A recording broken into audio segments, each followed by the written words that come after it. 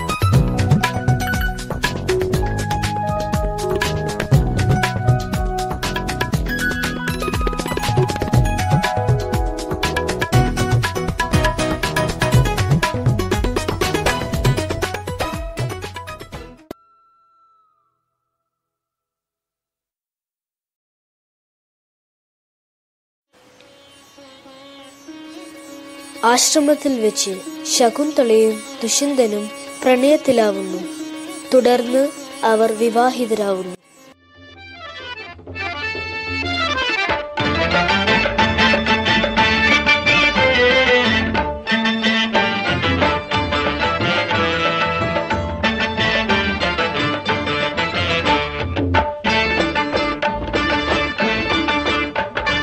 മാലിനിയുടെ തീരങ്ങൾ ഒഴുകി വരും പനിനീർ കാറ്റേ. ആരോടും പറയരുതി പ്രേമത്തിൻ ജീവരഹസ്യം. മാലിനിയുടെ തീരങ്ങൾ തഴുകി വരും പനിനീർ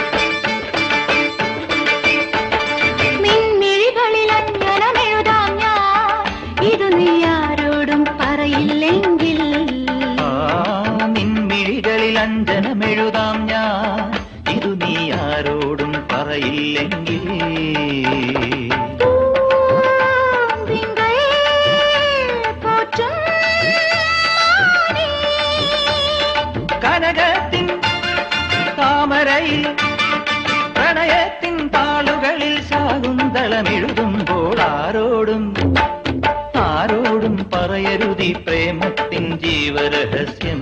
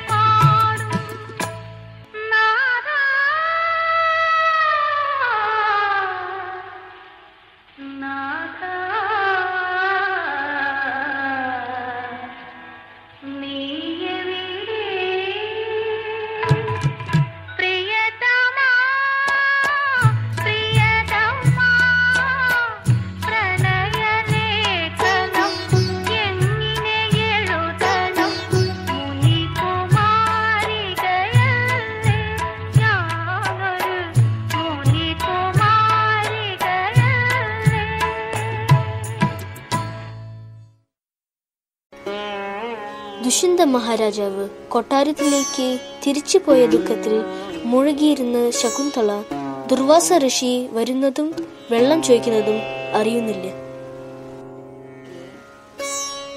അപമാനിതനും കോപിഷ്ടനുമായ ദുർവാസ ശകുന്തള സ്വപ്നം കാണുന്ന ആൾ അവളെ മറക്കട്ടെ എന്ന് ശപിക്കുന്നു. ഇത് കണ്ടുവന്ന തോഴിമാർ ദുർവാസയുടെ കാൽക്കൽ വീണ് മാപ്പപേക്ഷിക്കുകയും ശകുന്തള തന്റെ പ്രിയനെയോർത്ത് ദുഃഖിച്ചിരിക്കുകയാണെന്നും പറയുന്നു.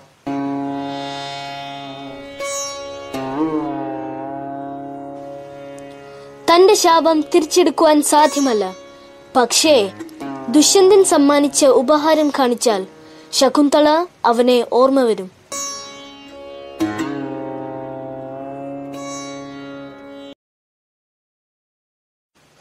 ഇതൊന്നും അറിയാതെ ശകുന്തള തന്റെ സ്വപ്നത്തിൽ മുഴുകിയിരിക്കുന്നു. നീണ്ട യാത്ര കഴിഞ്ഞ് തിരിച്ചെത്തിയ കണ്ണാ മഹർഷി ശകുന്തളയ്ക്ക് എന്തു പറ്റി എന്ന് അന്വേഷിക്കുന്നു.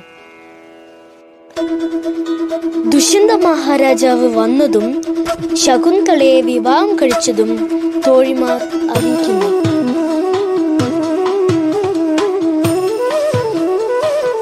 സന്തോഷ വാർത്ത കേട്ട കണ്ണ മഹർഷി ശകുന്തളയെ ദുഷ്യന്ത മഹാരാജാവിന്റെ കൊട്ടാരത്തിലേക്ക് കൊണ്ടുപോകാൻ തീരുമാനിക്കുന്നു.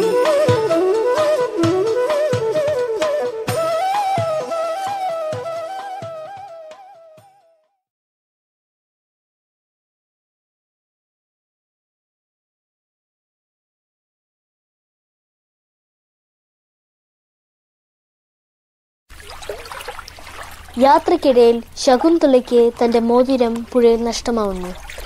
ആ മോതിരം ഒരു മത്സ്യം വിഴുങ്ങുകയും പിന്നീടത് ഒരു മീൻകാരന്റെ കയ്യിൽ എത്തുന്നു.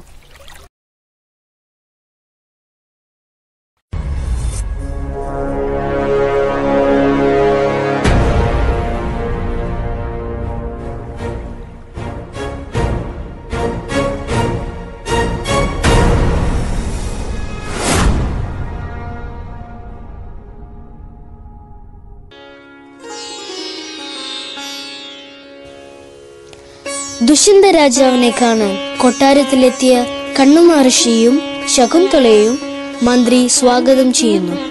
പക്ഷേ ദുഷ്യന്തൻ ശകുന്തളയെ തിരിച്ചറിയുന്നില്ല.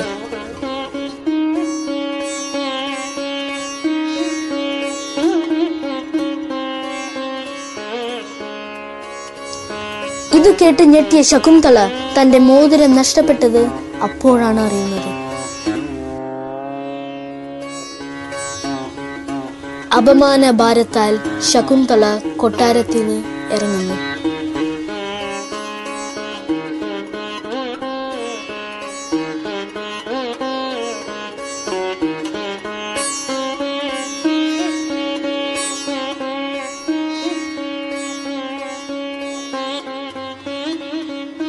പിന്നീട് കാട്ടിൽ വെച്ച് ശകുന്തള വീരനായ ഭരതന് ജന്മം നൽകുന്നു. അങ്ങനിരിക്കെ ഒരു ദിവസം ഒരു മീൻകാരന് രാജാവിന്റെ മുദ്ര പതിപ്പിച്ച മോതിരം കിട്ടുന്നു. മീൻകാരൻ ആ മോതിരം രാജാവിന് തിരിച്ചു നൽകുന്നു.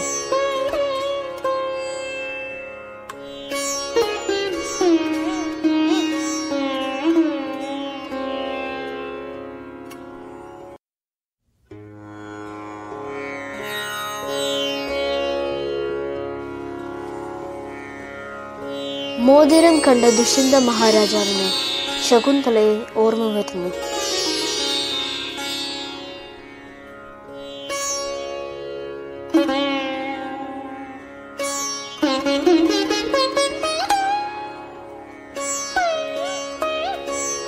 ശകുന്തളയെ അപമാനിച്ചതും ഇറക്കി വിട്ടതും അറിഞ്ഞ ദുഷ്യന്തൻ അവരെ അന്വേഷിക്കാൻ ഉത്തരമിടുന്നു.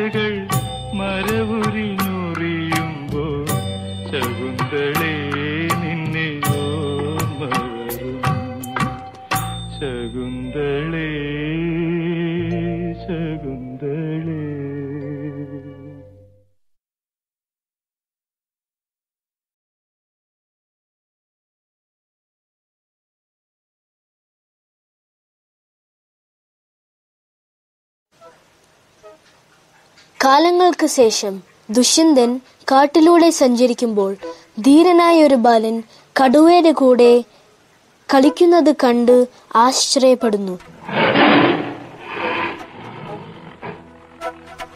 ആരാണ് എന്ന ചോദ്യത്തിന് അവൻ ശകുന്തളയുടെയും ദുഷ്യന്ത മഹാരാജാവിന്റെയും മകനാണെന്ന് പറയുന്നു. അങ്ങനെ ദുഷ്യന്തൻ വീണ്ടും ശകുന്തളയെ കണ്ടുമുട്ടുന്നു.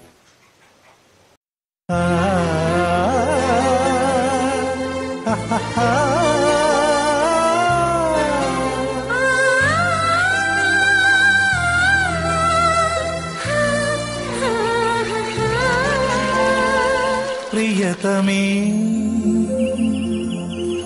ശകുന്തളേ